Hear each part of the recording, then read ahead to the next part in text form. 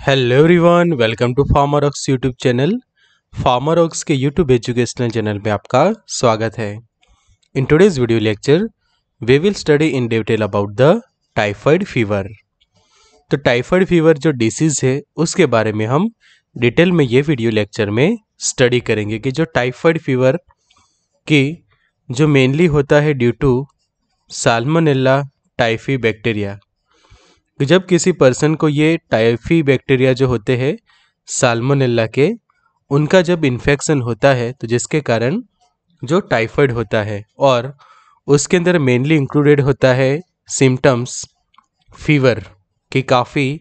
High fever होता है इसके अंदर वेरी हाई फीवर तो जिसको कहते हैं हम टाइफाइड फीवर और उसके लिए जो मेन माइक्रो ऑर्गेनिज्म है कि जिसके कारण ये डिसीज़ होती है तो वो है साल्मोनेला टाइफी तो ये डिसीज़ के बारे में हम डिटेल में स्टडी करेंगे कि उसके जो कोजिज़ हैं साइन एंड सिम्टम्स किस तरह से हम उसका डायग्नोसिस कर सकते हैं, उसके detail pathophysiology and also about the various medicine to treat the typhoid तो शुरू करते हैं आज के वीडियो लेक्चर में। तो subscribe the channel and press on the bell icon and never miss any video of Pharmarox Pharmarox का study material test series video lecture वगैरह आपको फार्मारॉक्स की मोबाइल एप्लीकेशन के ऊपर मिल जाएगा। तो अभी डाउनलोड करिए app Pharmarox Android application on Google Play as well as Apple iPhone app on app store तो फार्मारॉक्स की जो मोबाइल एप्लीकेशन है वो डायरेक्टली आप एक्सेस कर सकते हैं फार्मारॉक्स की मोबाइल एप्लीकेशन के ऊपर as well as you will access the various course on our app to get this facility on the app Pharmarox download this app Pharmarox Android application on Google Play as well as Apple iPhone app on app store so you will access the study material test series and video lecture on the app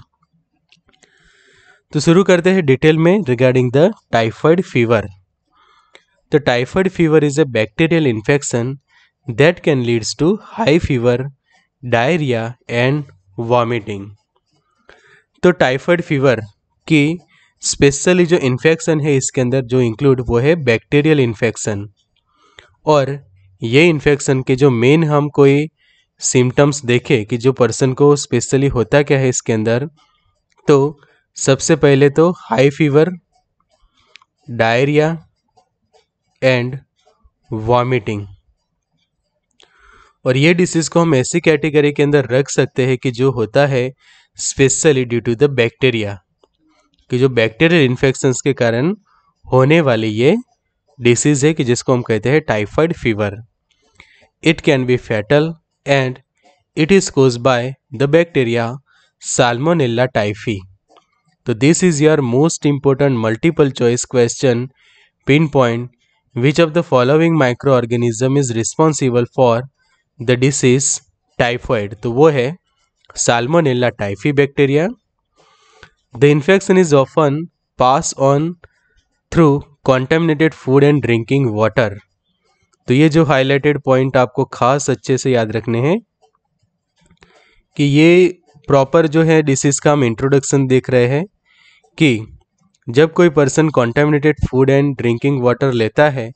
तो उसके कारण उसको typhoid fever हो सकता है। And it is more prevalent in places where hand washing is less frequent कि जहाँ पे हैंड वॉशिंग को खास इम्पोर्टेंस नहीं दिया जाता even after using the toilet और वॉशरूम भी आप समझो कि हैंड वॉशिंग नहीं करते तो वो एरियाज़ के अंदर वो लोग ज़्यादा ये डिसीज से इन्फेक्टेड हो सकते हैं। तो स्पेशली यहाँ पे हम देखें, ये पॉइंट के अंदर तो आपको जो मेन याद रखना है कि साल्मोनेला टाइफी की जो रिस्पॉन्सिबल है, किसी भी पर्सन को टाइफाइड होने के लिए। कि जब भी पर्सन टाइफाइड फीवर उसको होता है तो कंफर्म है कि उसको इन्फेक्शन लगा है साल्मोनेला टाइफी बैक्टीरिया का। और एस टाइफी का जब इन्फेक्शन होता है, कि ये पर्सन जो है वो इन्फेक्टेड है ड्यू टू एस टाइफी तो वो कंफर्म करेगा कि इसको टाइफाइड फीवर है और फर्दर फिर उसकी हम अलग अलग मेडिसिन वैक्सीनेशन वगैरह से ट्रीटमेंट करते हैं। The typhoid is a systemic infection यहाँ पे ये वर्ड खास इंपॉर्टेंट है। Systemic infection caused by salmonella typhi bacteria, कि जैसे हमें अलग अलग जो माइक्रो ऑर्गेनिज्म के इन्फेक्शन होते हैं और वो अलग अलग हमारे बॉडी पार्ट्स को अफेक्ट करते हैं। तो समझे कि कई बार वायरस के वायरस के कारण होता है हमें वायरल इन्फेक्शन होता है। इवन जो फंगाई वगैरह होती है, उनके कारण फंगल इन्फेक्शन होते हैं।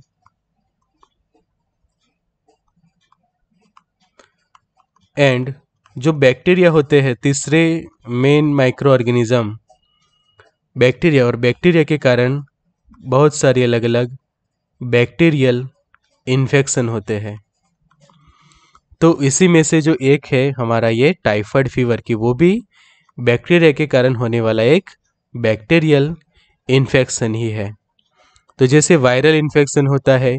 फंगल इन्फेक्शन होता है, वैसे ही टाइफाइड भी एक बैक्टीरियल इन्फेक्शन है कि जो, जब आप इन्फेक्टेड हुए हैं किसी बैक्टीरिया और वो भी साल्मोनेला टाइफी, और उससे इन्फेक्टेड आप कब हुए कि जब आप कांटेक्ट में आए कॉन्टामिनेटेड फ़ूड या फिर वाटर कि जिसके अंदर विच कंटेन एस टाइफी। कि आप ऐसे फ़ूड या वाटर के कांटेक्ट में आए कि जो ऑलरेडी इन्फेक्टेड था साल्मोनेला टाइफी से? तो यहाँ पे ये वर्ड है कि इंजेक्शन ऑफ़ कॉन्टेमिनेटेड फ़ूड और वाटर मतलब कि ये डिसीज होने के लिए मेन जो मोड रहेगा वो होगा ओरल रूट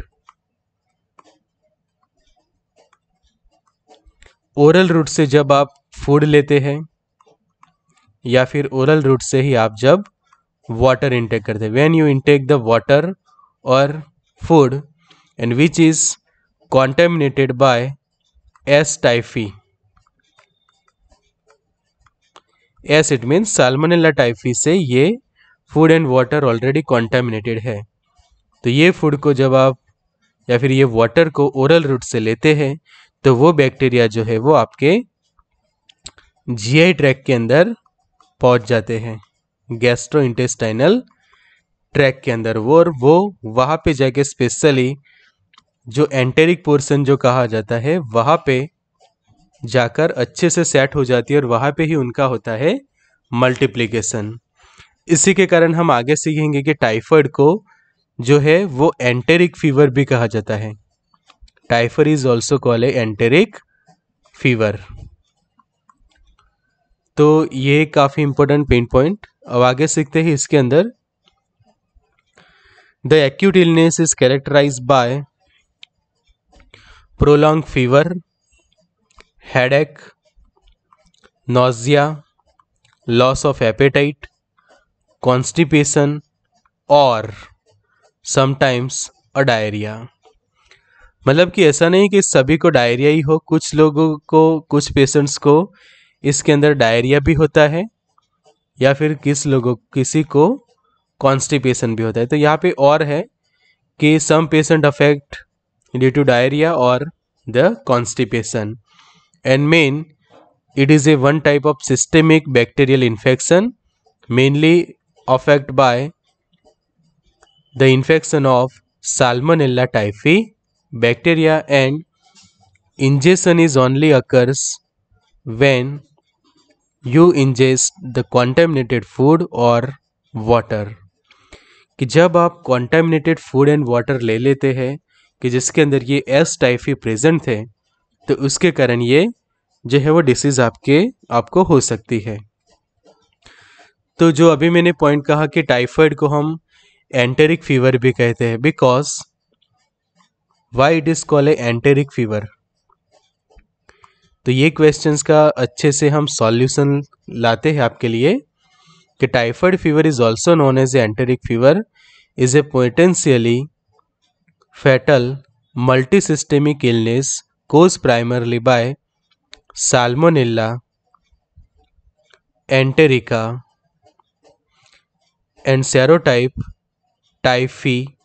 bacteria कि जो साल्मोनेला टाइफी हम कहते थे तो वो साल्मोनेला टाइफी बैक्टीरिया जो है वो साल्मोनेला एंटेरिका और बैक्टीरिया है और उसका जो सेरोटाइप है वो है टाइफी। इसलिए इसका पूरा नाम बनता है Salmonella enterica serotype typhi bacteria. और एंटेरिका पर से ही एंटेरिक नाम पड़ता है कि ऐसे बैक्टीरिया के जो आपके एंटेरिक पोर्शन को अफेक्ट करते हैं साथों साथ जो रिस्पॉन्सिबल जो बैक्टीरिया है, वो भी एंटेरिका नाम का है। इसलिए एंटेरिका पर से एंटेरिक फीवर और ये स्पेशली अफेक्ट करता है आपके इंटेस्टाइन को, जिसके कारण साल्मोनेला टाइफी के कारण होने वाले टाइफाइड को हम fever of intestine fever of intestine और कॉलॉन और बाउल की जो स्पेशली हमारे इंटेस्टाइन की जो हमारा एंटेरिक पोर्शन है specially the enteric portion of our body और एंटेरिक पोर्शन कहाँ पे है? तो हमारे गैस्ट्रो इंटेस्टाइनल ट्रैक की जो हमारा पाचन तंत्र है, हमारा डाइजेस्टिव सिस्टम पाचन तंत्र और उसके मेन गैस्ट्रो इंटेस्टाइनल ट्रैक का जो मेन पोर्शन एक एंटेरिक पोर्शन और जिसके अंदर इंक्लूड होते हैं small intestine large intestine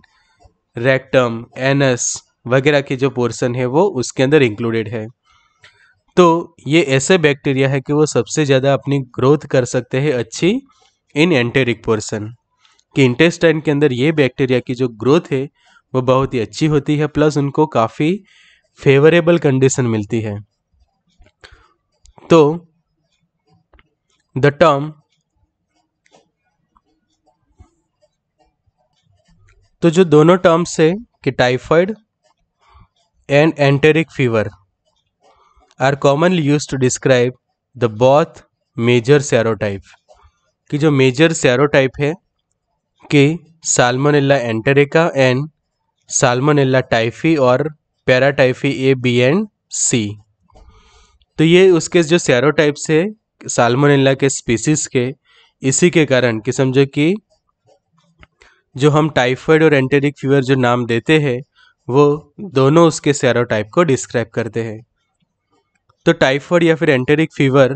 के जो लिए जो रिस्पॉन्सिबल जो माइक्रो ऑर्गेनिज्म है, वो हम यहाँ पे देख सकते हैं, वो है साल्मोनेला टाइफी बैक्टीरिया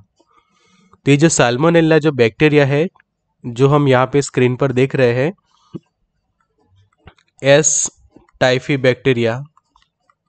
तो काफ़ी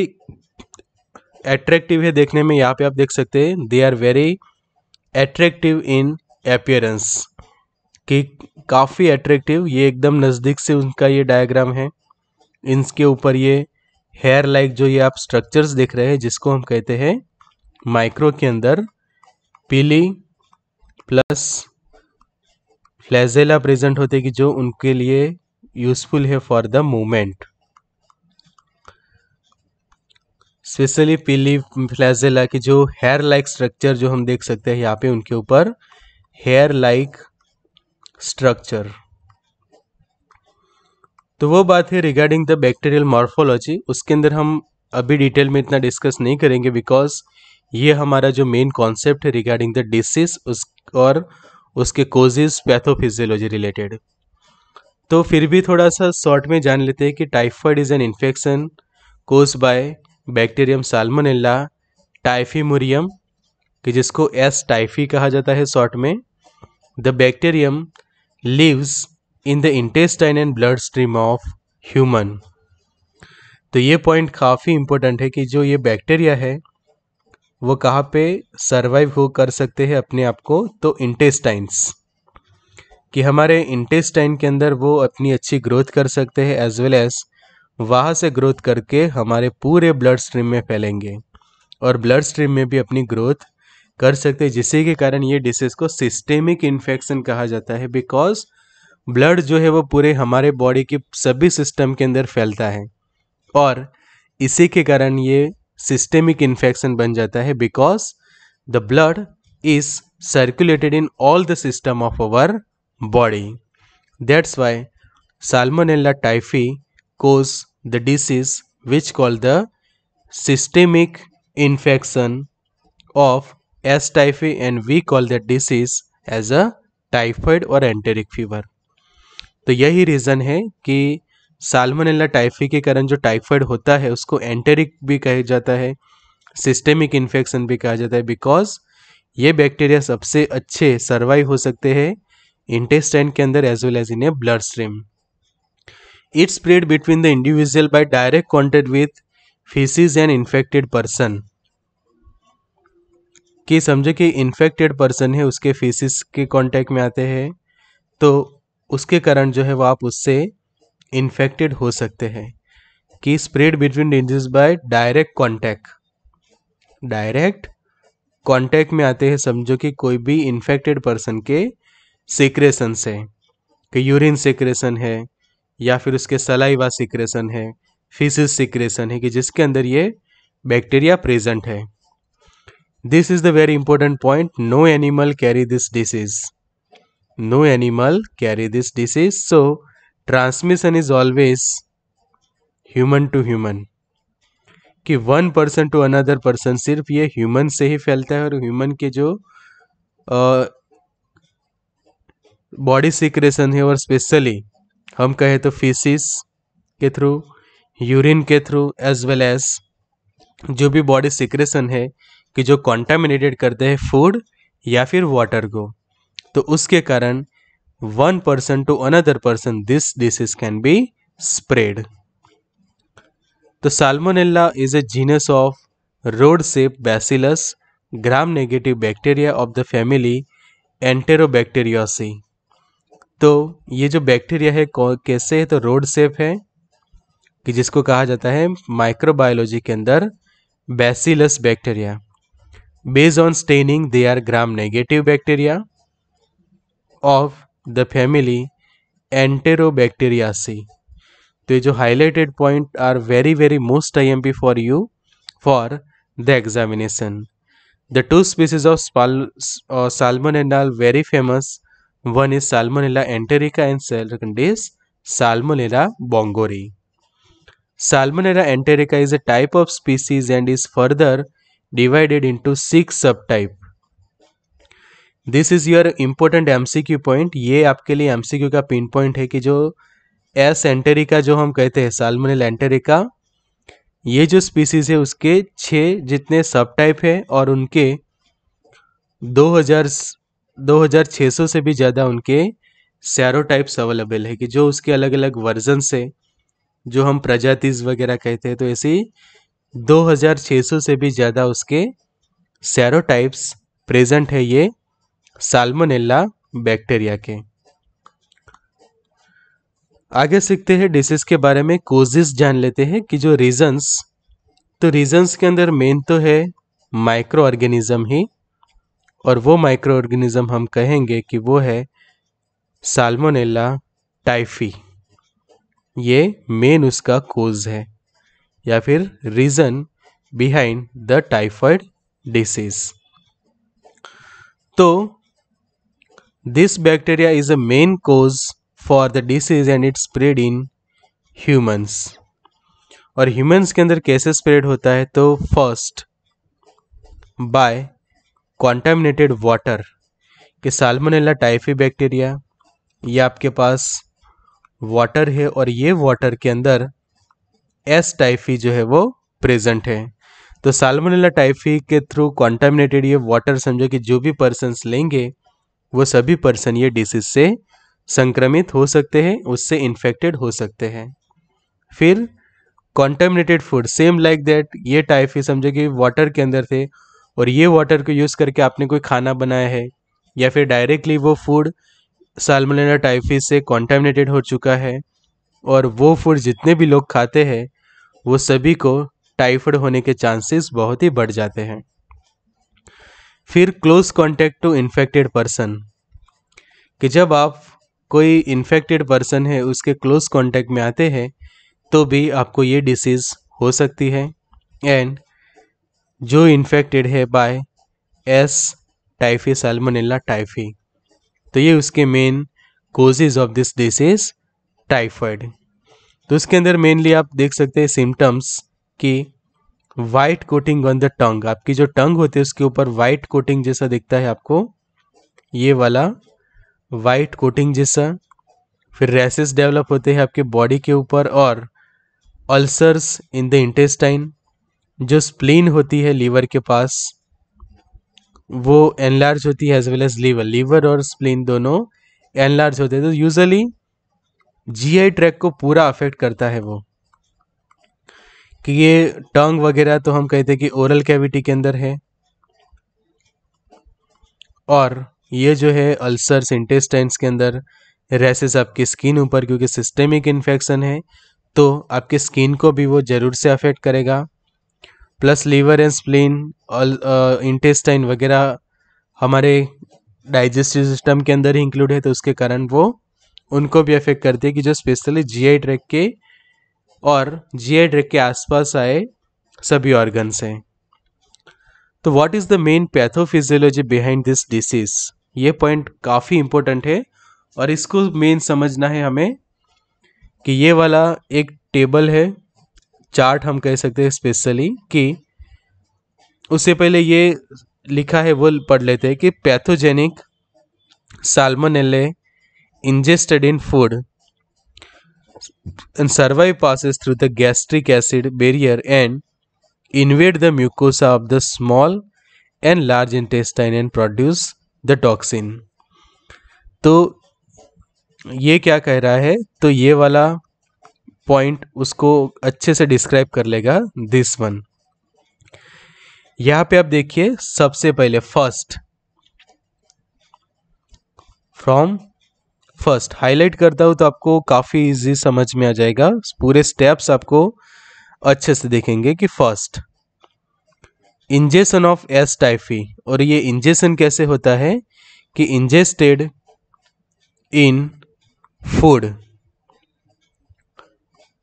survive passes through gastric acid barrier अब ये देखिए सेकंड पॉइंट अब ये बैक्टीरिया आपके इंजेस्टन तो हो गया, वो आपके बॉडी में एंटर हो चुके हैं थ्रू फ़ूड और वाटर अब वो ट्रैवल करते करते पहुँच गए गैस्ट्रो इंटेस्टाइनल ट्रैक के अंदर है और वो गैस्ट्रिक एसिड का बैरियर को भी पास कर लेंगे एंड इन्वेड होंगे. Invade the mucosa of the small and large intestine and produce the toxins ये ब्रॉड बैक्टीरिया अपने अंदर रहा, जो टॉक्सिन्स है, वो प्रोड्यूस करना स्टार्ट करेंगे। तो फाइव से लेकर फोर्टीन डेज़ का उसका इंक्यूबेशन पीरियड रहेगा कि वो पीरियड के अंदर ये बैक्टीरिया अपनी ग्रोथ करना स्टार्ट करेंगे। तो जीआईटी जीआईटी में से फिर आगे जाके वो पहुँचेंगे फिर ब्लड के अंदर। एंड जिसके कारण सिम्टम्स ऑफ़ एंटेरिक फीवर यहाँ पे लिखा है symptoms of enteric fever will start to develop after the five to fourteen days कि जिसके अंदर fever nausea abdominal pain and then the diarrhoea तो यहाँ पे अब ब्लड के अंदर जब ये पहुँच जाते हैं बैक्टीरिया तो वो क्या करेंगे? रेटिकुलो एंडोथेलियल सिस्टम के अंदर पहुँचते हैं कि जहाँ पे वो अफेक्ट करते हैं हमारे लीवर को स्प्लिन को एंड गैल ब्लैडर को। और ये तीनों ऑर्गन्स के जो म्यूकस है, उनको डैमेज करना स्टार्ट करता है कि ये invade the mucosa of the small intestine यहाँ पे लिखा है। इन्वेड करना स्टार्ट करता है हमारे म्यूकोसा को स्मॉल एंड लार्ज इंटेस्टाइन के as well as the liver spleen and gall bladder फिर जो पियर्स पैचिस कि जो हमने इन्फ्लामेटरी बाउल डिसीज के बारे में पढ़ा था, तब ये पॉइंट आया था पियर्स पैचिस तो पियर्स जो पैचेस होते हैं, कि जो स्पेशली इंटेस्टाइनल जो म्यूकोसा है, वो बनाने में हेल्प करते हैं, कि जो म्यूकोजल मेम्ब्रेन होता है पूरा हमारे इंटेस्टाइन का तो वहाँ पे ये पियर्स पैचेस प्रेजेंट है। तो वो डैमेज होना स्टार्ट होगा जिसके कारण फिसिस ब्लड एंड फीसिस के अंदर ये बैक्टीरिया एंटर होंगे ब्लड के अंदर एंड अब इसका जो इन्फेक्शन है वो जनरलाइज हो जाएगा। तो सिंपली एक और चार्ट से भी मैं आपको इजीली ये पॉइंट समझा सकता हूँ कि यहाँ पे समझिए कि ये था समझो कि कोई फ़ूड या फिर वाटर कि जो आपने इंजेस्ट किया थ्रू द ओरल कैविटी अब ओवर कैविटी से ये फ़ूड एंड वाटर आपके बॉडी में गया, जिसके अंदर प्रेजेंट थे एस टाइफी जिसके अंदर प्रेजेंट थे एस टाइफी तो अब ये एस टाइफी आपके जीआई ट्रैक के अंदर पहुँच गए हैं। पूरे गैस्ट्रो इंटेस्टाइनल ट्रैक की ओरल से लेकर एनस तक का जो पूरा पोर्शन है, के बीच में हमारा गैस्ट्रिक लेयर भी आ गया एज वेल एज इंटेस्टाइन का पोर्शन भी वहाँ पे इंक्लूडेड है। अब ये बैक्टीरिया जीआई ट्रैक के अंदर क्या करेंगे, अपनी ग्रोथ स्टार्ट करेंगे। They will increase their growth की जिसको हम कहते हैं बैक्टीरियल ग्रोथ और बैक्टीरियल प्रोलीफेरेशन की। ये बैक्टीरिया आप अपनी ग्रोथ करना स्टार्ट कर देंगे एंड वहाँ पे उनकी ग्रोथ होना स्टार्ट हो जाएगी। और फिर इनके जब नंबर्स काफ़ी इंक्रीज होंगे तो ये जीआईटी में से निकल के ब्लड के अंदर भी मिक्सअप हो जाएँगे। और ब्लड तो हमें पता है कि वो सिस्टेमिकली सभी ऑर्गन्स के पास जाता है तो ये लीवर के अंदर भी पहुँचता है स्प्लीन है गैल ब्लैडर है स्मॉल इंटेस्टाइन लार्ज इंटेस्टाइन तो ऑलरेडी अफेक्ट हुए हैं और ये सभी को इन्वेड करना मतलब कि उसका चेप लगना स्टार्ट हो जाता है और ये सभी के जो म्यूकोजल जो मेम्ब्रेन होता है म्यूकोजल मेम्ब्रेन वो डैमेज होता है। तो ये जो एस टाइप ही वो एक टाइप से बॉडी के अंदर काम करते हैं एंटीजन का। और एंटीजन एंटर होते ही हमारे बॉडी के अंदर ये अलग पेन से लेते हैं। कलर चेंज कर दे तो आपको काफ़ी अच्छे से समझ में आएगा। अब एक और पाथवे है उसके अंदर वो समझना भी ज़रूरी है कि समझो कि एस टाइफी ने एंटीजन का काम किया और उसके सामने अपने की बॉडी ने एंटीबॉडी प्रोड्यूस की है। बट आपकी इम्यूनिटी समझो कि अच्छी थी, इतने अमाउंट में प्रॉपर एंटीबॉडी प्रोड्यूस हो गए कि ये एस टाइफी को कम्प्लीटली क्या कर देते हैं? किल और वो आपके बॉडी में से एक्सपेल आउट हो जाएँगे और आपको जो है वो टाइफाइड नहीं होगा। बट समझो कि आपकी इम्यूनिटी वीक थी। You are you have immunity is very weak तो आप जो है वो ये डिसीज से इन्फेक्टेड हो सकते हैं। तो ये चार्ट को हम, मैं एक और अलग तरीके से आपको समझाता हूँ। पहले ये वाला पॉइंट नीचे देख लो कि invasion of invasion of the epithelial cell invasion of the epithelial cell stimulate the release of pro inflammatory cytokines which induce an inflammatory reaction अब ये जो एपिथेलियल सेल है प्लस म्यूकोसा जो है of small and large intestine कि जिसको हम कहते हैं enteric portion of our body तो उसके एपिथेलियल सेल अब डैमेज हुए, जिसके कारण वो साइटोकाइंस को रिलीज़ करेंगे और जो रिस्पॉन्सिबल होते हैं इन्फ्लेमेशन रिएक्शंस के लिए। और फिर स्मॉल एंड इंटेस्टाइन के अंदर इन्फ्लामेशन होना स्टार्ट होता है, वो डैमेज होते हैं। प्लस लीवर का एनलार्जमेंट होता है स्प्लीन एनलार्जमेंट होती है गैल ब्लैडर वगैरह जो है वो एनलार्ज होना स्टार्ट हो जाते हैं। तो ये थी detail pathophysiology of this disease तो मुझे जो पॉइंट आपको समझाना था, वो यहाँ पे अब समझाता हूँ आपको फिर से। तो ये डिसीज़ के जो ये स्टेप तो चलो ओके है बट यहाँ पे दो कंडीशन एक तो प्रोड्यूस होती है कि आपने जो है वो फ़ूड लिया या फिर कोई वाटर लिया कि जिसके अंदर जो है वो एस टाइफी प्रेजेंट है। तो एस टाइफी जो है दो कंडीशन यहाँ पे सोच सकते हैं कि वो काम करेंगे एज अ एंटीजन तो ये एंटीजन जो है एस टाइफी उसके सामने हमारी बॉडी प्रोड्यूस करेंगे एंटीबॉडी कि जिसको हम कहेंगे ए बी और antibody will kill all S typhi so यहाँ पे ऐसा होगा कि सब सभी एस टाइफी किल हो जाते हैं तो यू आर सेफ़ उसका मतलब ये हुआ कि आपकी इम्यूनिटी अच्छी थी और आप सेफ़ हैं। बराबर? बट दूसरी कंडीशन हम यहाँ पे सोच सकते हैं कि इफ़ इम्यूनिटी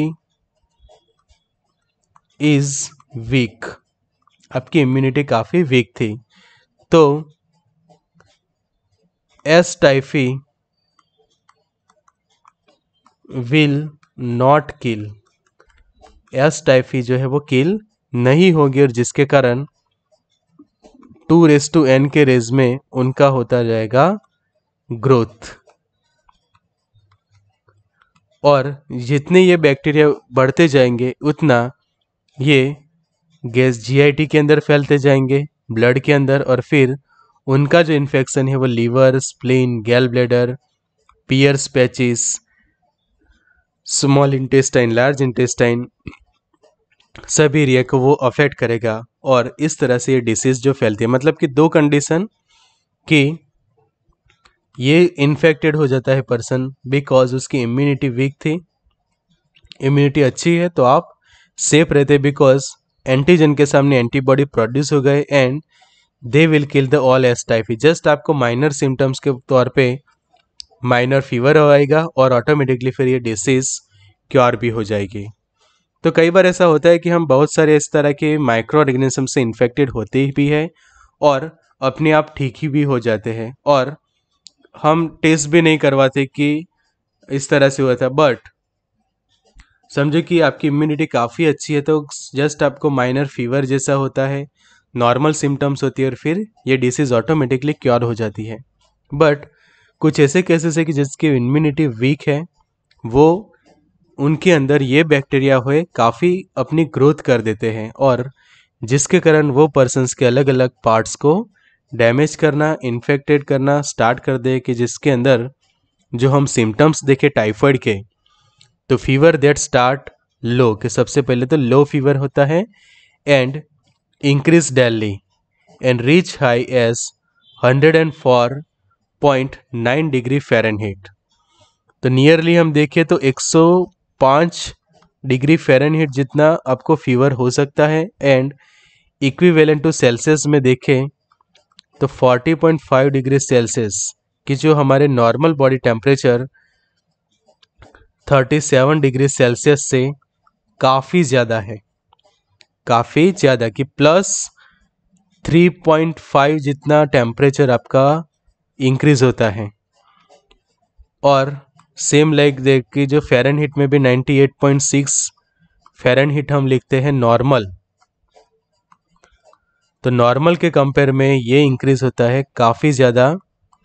104.9 मतलब कि नियर बाय 105 तक वो टेम्परेचर पहुँचता है। तो काफ़ी हाई फीवर जो है वो होता है पेशेंट को, in symptoms of a typhoid फिर हेडेक भी होता है पेशेंट को वीकनेस होती है फटिक काफ़ी थकान रहता है मसल एचिस स्वेटिंग पसीना होता है ड्राई कफ ये काफ़ी इंपॉर्टेंट है बिकॉज़ यहाँ पे हमने देखा कि ये जो टाइफाइड के जो बैक्टीरिया है, कि ड्राई कफ के ऊपर हमने ऑलरेडी आपके लिए एक वीडियो लेक्चर बना कर रखा है कि जो है हमारा lecture specially on dry cough की, जिसको हम कहते हैं सूखी खांसी। तो फार्मर ऑक्स के यूट्यूब चैनल पे आपको ये लेक्चर मिल जाएगा ड्राई कप का। तो वो आप ज़रूर से चेक कर सकते हैं चैनल के ऊपर। पैथोफिजियल वाले प्लेलिस्ट में आपको सभी डिसेस के वीडियो लेक्चर्स मिल जाएँगे विथ देयर प्रॉपर ट्रीटमेंट तो ड्राई कप इसलिए कि बिकॉज़ ये जो है वो रेस्पिरेटरी ट्रैक को अफेक्ट नहीं कर रहा है। Only affect G I T gastrointestinal tract को जो है वो स्पेशली ये अफेक्ट कर रहा है। और इसके अंदर ऐसे कफ जैसा प्रोड्यूस ऐसा कुछ नहीं हुए। सिर्फ़ जो पेशेंट है, उसको खांसी आती है और वो खांसी होती है ड्राई जिसको हम कहते हैं सूखी खांसी या फिर ड्राई कफ तो बाजू में ये आप कार्टून के अंदर देख सकते हैं कि ये जो पेशेंट है, कि जिसको टाइफाइड हुआ है तो उसके अंदर हम देख सकते कि स्टेप लेडर फीवर चिल्स ठंड लगती है उसको स्वेटिंग मतलब कि पसीना आ रहा है काफ़ी हेडेक भी है मेलेस कंडीशन हो रही है, फिर coated tongue white coated tongue जो हमने कहा वो वॉमिटिंग भी होती है पेशेंट को रोज स्पॉट की जो स्किन पे रेसिस होता है और जो फीवर, काफ़ी हाई फीवर होता है कि यहाँ पे थर्मोमीटर भी रखा हम देख सकते हैं। फिर रिलेटिव ब्रेडिकार्डिया ब्रेडिकार्डिया होता है। फिर एब्डोमिनल पेन एंड डायरिया और कॉन्स्टिपेशन फिर माइग्लिया हिपेटो स्प्लिनोमेगाली मतलब कि जो लीवर और स्प्लिन दोनों की मेगाली की जिसको हम कहते हैं कि साइज़ इंक्रीज होना। तो ये बहुत सारे सिम्टम्स प्रोड्यूस होते हैं पेशेंट के अंदर, और जिसके कारण लॉस ऑफ़ एपेटाइट भूख नहीं लगती वेट लॉस होता है एब्डोमिनल पेन डायरिया और constipation rashes and extremely swollen abdomen तो ऐसा क्योंकि ये आपका जो स्प्लिन है लीवर है, दोनों जो है, वो इन, उनका इन्फ्लामेशन होता है as well as intestine small intestine large intestine उसका भी इन्फ्लामेशन होता है, जिसके कारण एब्डोमिन जो है वो काफ़ी आपको स्वॉलन देखने को मिलता है। तो ये है टाइफाइड के मेन साइन एंड सिम्टम्स अब जानते हैं उसकी एपिडेमियोलॉजी के कौन से एरियाज़ के अंदर टाइफाइड के सबसे ज़्यादा केसेस देखे जाते हैं। तो यहाँ पे जो कलर से वर्ल्ड वाइड हम चेक करें तो जो डार्क रेड कलर है डार्क रेड कलर तो वो है हाई रिस्क वाले एरिया कि यहाँ पे इंडिया देख सकते हैं आप इंडिया का जो पोर्शन है, वो हाई रिस्क के अंदर आ रहा है। ये पूरा इंडिया का पोर्शन आप देखो तो डार्क रेड के अंदर है। वैसे ही हमारे जो नेबरिंग कंट्रीज़ में भी कुछ ऐसा ही हाल है। अफ्रीका का रीजन देखे तो वहाँ पे भी ये हाई रिस्क के अंदर है। फिर एशिया के कुछ और देश देखे हम तो वहाँ पे मीडियम रिस्क है कि जो ये वाले पर्सन कलर हम देख सकते हैं कि लाइट पिंक जैसा कलर तो वो मीडियम रिस्क में और जो क्रीम कलर या फिर जो येलो विस क्रीम कलर है, ये ऑस्ट्रेलिया का पोर्सन न्यूजीलैंड का जो पोर्सन ये साइड का जो पूरा एरिया है तो वो लो रिस्क में है कि वो बहुत ही कम केसेस है। तो इसके ऊपर मल्टीपल चॉइस क्वेश्चंस पूछा जाता है एग्ज़ाम के अंदर। तो वो जानते हैं कि बाजू में जो दूसरा हमने जो डायग्राम आपको दिखाया है, वहाँ पे जो स्टेटिस्टिक्स है कि high endemicity when greater than hundred cases per lakh per year greater than hundred case per lakh per year तो हाई एंडेमिसिटी तो हाई एंडेमिसिटी में हमारा इंडिया का पोर्सन भी इंक्लूड हो जाता है। मीडियम एंडेमिसिटी कि जहाँ पे टेन केसेस आपको मिलते हैं, दस के बजाय सिर्फ़ टेन मिलते हैं पर लैख पर ईयर तो वो medium endemicity and low endemicity तो less than ten cases per lakh per year तो ऐसे अलग अलग सिचुएशंस के अंदर high endemicity and medium endemicity या फिर low high medium and low endemicity इसमें से मल्टीपल चॉइस क्वेश्चन निकल सकता है कि कब आपको हाई एंडेमिसिटी कहेंगे, कब आप मीडियम कहेंगे एंड कब आप लो कहेंगे। तो इसका रिस्क कब है? टाइफाइड होने का कि जब जो कि आप ये हाई एंडेमिसिटी वाले एरियाज़ में रहते हैं तो टाइफाइड होने के चांसेस आपको काफ़ी बढ़ जाते हैं कि जब आप कोई प्रिकॉशंस नहीं रखते, कि प्रिकॉशंस के अंदर जब भी आप इस टाइप के पेशेंट्स को मिलते हैं तो उसके क्लोज कांटेक्ट में ना आए। फिर दूसरी चीज़ है कि स्पेशली जो फ़ूड है, वो काफ़ी हाइजेनिक तरीके से बना हो वही आप खाए। Same prefer for the water and जब भी आप टॉयलेट या बाथरूम यूज़ कर दे तो तुरंत आपके हैंड वॉश ज़रूर से करिए। हैंड अच्छे से सैनिटाइज करिए कि जिससे आप ये डिसीज से बच सकते हैं। तो typhoid fever remains an important public health problem in world wide especially in the improvement improvise population from developing countries और कुछ हम स्टेटिस्टिक्स देखें तो globally the disease is estimated to cause two lakh twenty thousand death two lakh twenty thousand death and twenty two millions illness per year तो समझो कि ये disease से आपको प्रिवेंट होना है। तो ये क्वेश्चन होगा कि एंडेमिसिटी में समझो कि है, फिर भी how to prevent how to prevent तो कैसे आप उसको प्रिवेंट करेंगे? तो प्रिवेंट के लिए स्पेशली तो proper hand washing specially infected food और वाटर जहाँ पे हाइजीनिसिटी मेंटेन नहीं रहते, वहाँ पे then take proper freshly prepared food proper freshly बना प्रिपेयर्ड फ़ूड ही आप प्रोसेस करिए और वो भी हाइजीनिक कंडीशन से बना। उसके अलावा ये फ़र्स्ट पॉइंट, ये सेकंड और तीसरी चीज़ है, proper take, clean drinking water always. कि हमेशा क्लीन और प्रॉपर हाइजेनिक कंडीशन वाला जो ड्रिंकिंग वाटर कि जो हम कह सकते हैं क्लीन और प्योर वैसे ही ड्रिंकिंग वाटर यूज़ करिए, जिससे आप ये डिसीज से बच सकते हैं एज वेल एज अच्छे से फ्रेशली बना खाना कि जहाँ पे किसी भी तरह से कॉन्टेमिनेशन ना हो प्रॉपर हाइजीनिक कंडीशन में जहाँ पे खाना बनता हो, वही से खाना खाइए, जिससे आप ये डिसीज से बच सकते हैं बिकॉज़ ये स्पेशली आपके जीआई ट्रैक को अफेक्ट करता है। तो टाइफाइड के अंदर ऐसा बैक्टीरियल इन्फेक्शन है कि जो आगे जाके सिस्टेमिक बनता है और प्राइमरली सबसे पहले अफेक्ट करता है हमारे जीआई ट्रैक को। तो ये था regarding the epidemiology of this disease के कौन से एरियाज़ के अंदर ये सबसे ज़्यादा उसके केसेस देखने को मिलते हैं एंड वर्ल्ड वाइड देखिए तो टू लैख ट्वेंटी थाउज़ेंड जितनी